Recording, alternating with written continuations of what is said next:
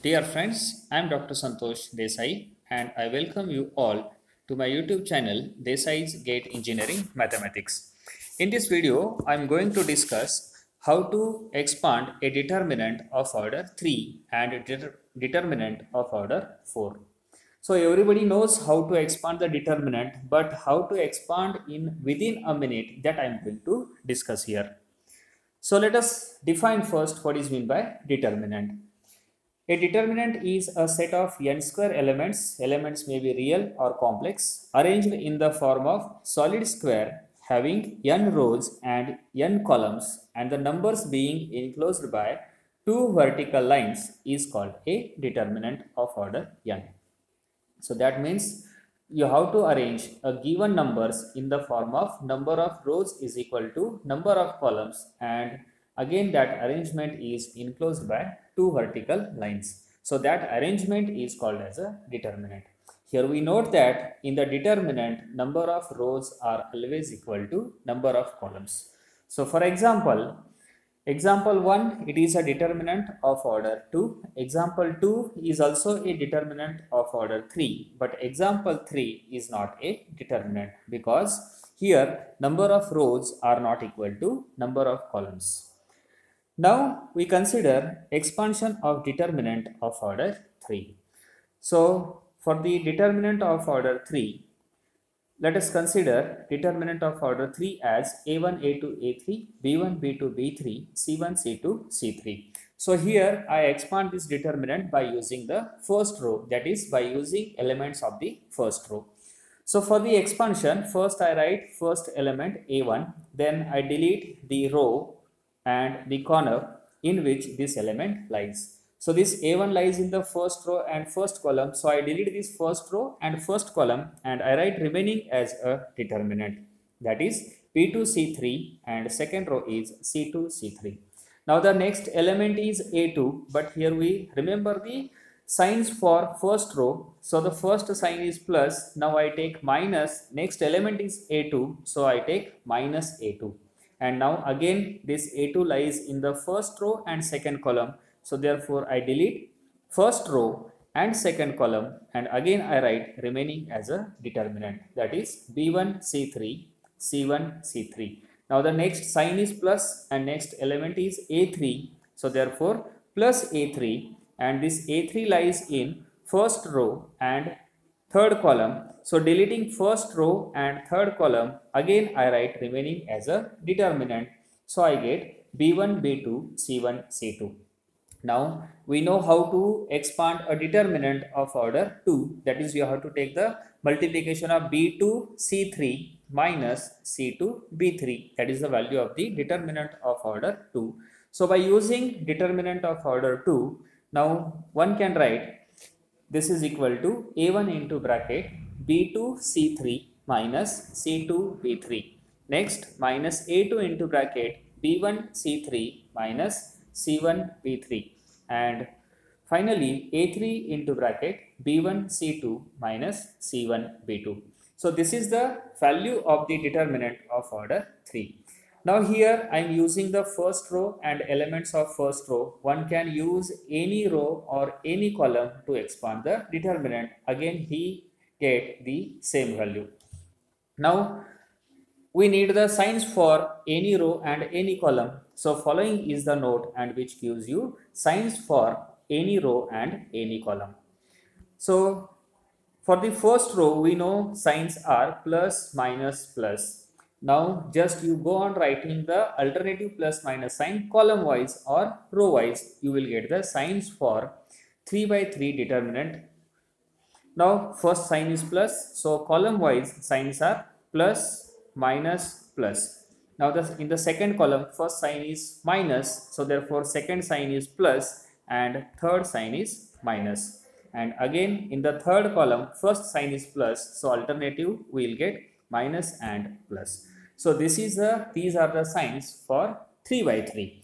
Now one can use the same technique to find out the signs for 4 by 4 matrix. So for the first row again we know alternative signs and you have to start from plus. So the signs are plus minus plus minus. Now in the first column, the first sign is plus. So obviously second sign is minus. Now here I write the signs in the row wise. Since in the second row, the first sign is minus, next is plus, minus, plus. Now in the first column, second sign is minus, so therefore third sign is plus. Again, if I write row wise, I will get second sign as minus, then plus, and then minus. And similarly, last row is minus, plus, minus, plus. So by using these signs, one can expand determinant of order 3 and of order 4 by using any row and any column. So here I suggest to students that to expand the determinant of either of order 3 or of order 4, you please select the row or column which contains maximum zeros. Because if you select the row or column which contain maximum zeros, automatically it will reduces to your calculations and if it reduces your calculations you will save the time. So therefore you select the row and column which contains maximum zeros. Now we will see some properties of determinants. By using these properties one can also find the values of the determinant. So the first one is if a and B are square matrices of order n, then determinant of AB is equal to determinant of A into determinant of B. This property you can use to find out the value of determinant of AB where determinant of A and B is known. Then second is determinant of A raised to m is equal to determinant of A and its power m and where m runs from 2, 3, 4. Now this property you can one can use to find out the value of determinant of a raised to m. So if you have the value of determinant of a then by using this pro second property one can find the value of determinant of a raised to m. Now if next one if all the elements of a row or column are 0 then the determinant is 0. If two rows or columns of a determinant are identical or same, then the value of the determinant is 0. If A is a square matrix of order n, then determinant of Ka is equal to k raised to n into determinant of A. If two rows or columns are dependent, now dependence means one is scalar multiple of other, then the value of the determinant is again 0. And if all the elements of a row or column of a determinant are multiplied by a non-zero constant, then the determinant gets multiplied by the same constant. And last one, the value of the determinant remains same if we apply row transformation like Ri plus k into Rj or column transformations like Ci plus k into Cj.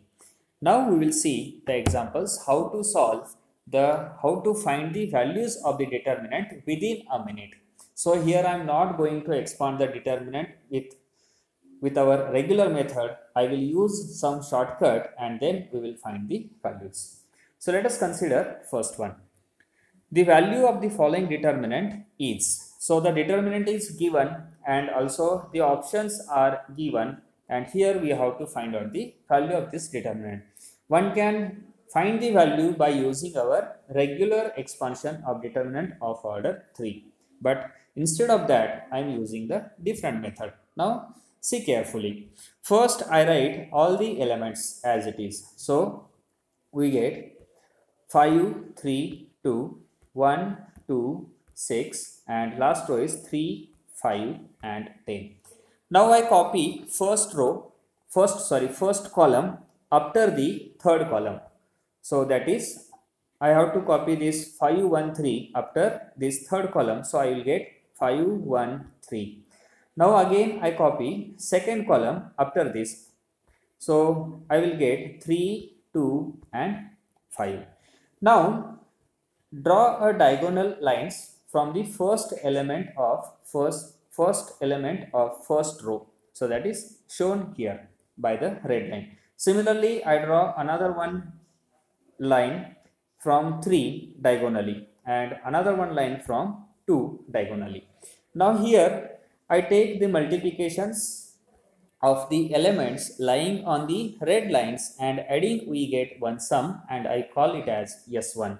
So first is S1 is equal to, from the first line you will get 5 into 2 into 10 that is 100. So plus from the second line we will get 3 into 6 into 3 that is 54 plus and from the last one I will get 2 into 1 into 5 that is equal to 10 and sum is 164. Now I consider diagonal lines from the lower end. So I now I draw a diagonal from 3 that is from first element of third row in upward direction. So these are shown by the blue lines. So this is the first diagonal line. Second I will draw from the 5 and third one from the 10. Now again here multiplying elements lying on blue line and adding we get another one same another one sum and I will call it as S2. So I get S2 is equal to from the first line 3 into 2 into 4 that is 12 plus from the second line 5 into 6 into 5 that is 150 plus from the third line 10 into 1 into 3 that is equal to 30 and total is 192. Now this is simple calculations so one can easily do this.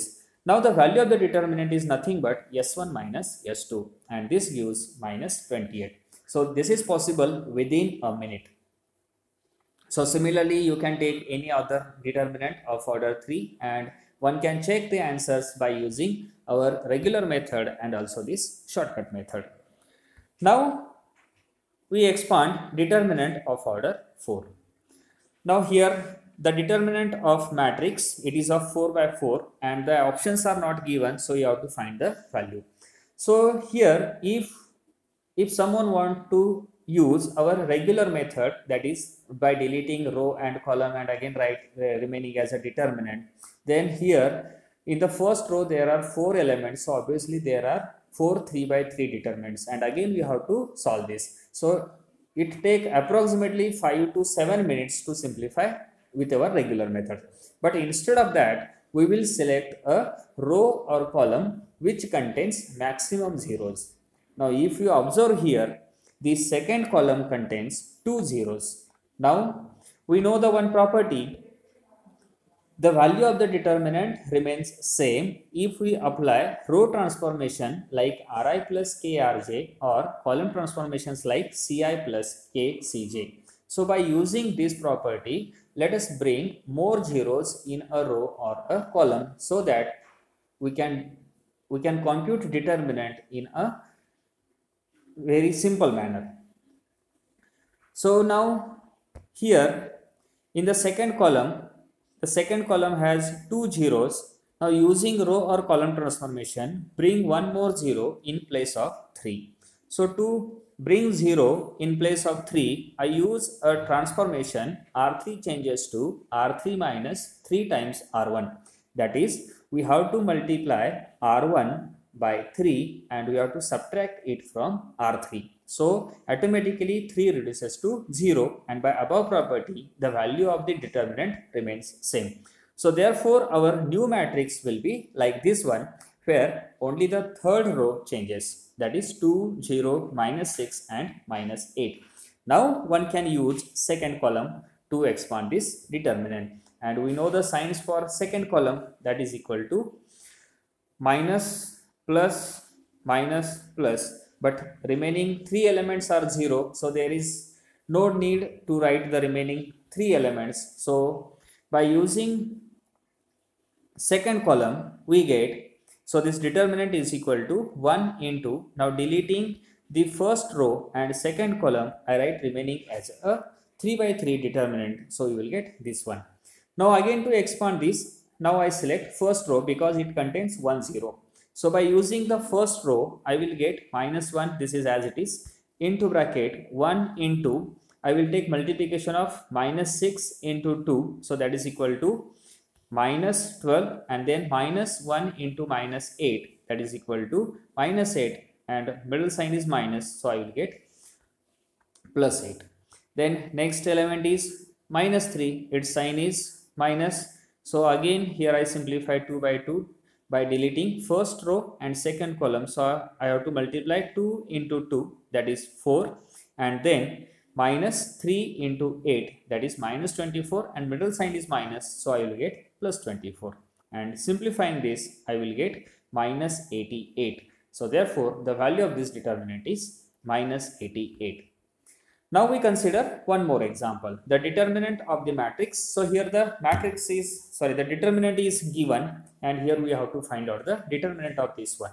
Again, the options are given, but here we check that already the first column contains three zeros. So therefore we expand this determinant by using first column. So therefore we get this determinant is equal to first element is 6 so deleting the first row and first column i will get 2 4 6 0 4 8 and 0 0 minus 1 again i expand this 3 by 3 determinant by using first column. So this is equal to 6 into 2 so you will get 4 8 and 0 minus 1 and simplifying this 2 by 2 here i get 2 6 into 2 into 4 into minus 1 now if you observe this this 6 into 2 into 4 into minus 1 is nothing but your diagonal elements. So therefore, here we take a note.